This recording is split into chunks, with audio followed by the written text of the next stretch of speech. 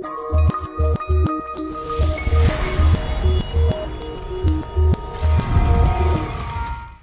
mahalagang mga salita ni Coco Chanel, maaari kang maging marilag sa edad na 30, kaakit-akit sa 40 at maalindog sa natitira pang buhay. Ang pagtanda, isang natural na proseso na nararanasan nating lahat, ay maaari na ngayong harapin ng masigla sa pamamagitan ng stem cell therapy.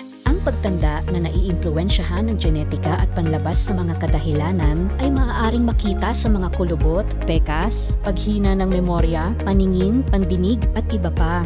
Dito pumapasok ang agham tungkol sa mga stem cell. Ang kamanghamanghang mga differentiated cell na ito ay nagtataglay ng kakayahang magpanibago sa mahigit dalawang daang iba't ibang uri ng mga selula sa katawan ng tao. Ang stem cell ay mahalaga sa pagpapanibagong lakas. Naglalabas sila ng kadahilanan ng paglaki, pinasisigla ang pagbuo ng bagong daluyan ng dugo at pinapalitan ng nasirang selula. At ang maganda sa lahat, ito ay non-invasive na pamamaraan na may kaagarang paggaling. Kadalasan ay hindi nakakailanganin ng donor cell at ginagawa itong abot kaya at pangmatagalang alternatibo sa pag-opera. Tandaan, gaya ng sinabi ni Dr. Howard Murad, ang pagtanda ay isang katotohanan ng buhay. Ang pagtingin sa iyong edad ang hindi. Tuklasin ang landa sa pagtanda ng maganda gamit ang stem cell therapy. Para sa karagdagang impormasyon, bisitahin ang aming website o tawagan ng numero sa ibaba. Ang iyong paglalakbay sa walang hanggang kagandahan ay naghihintay.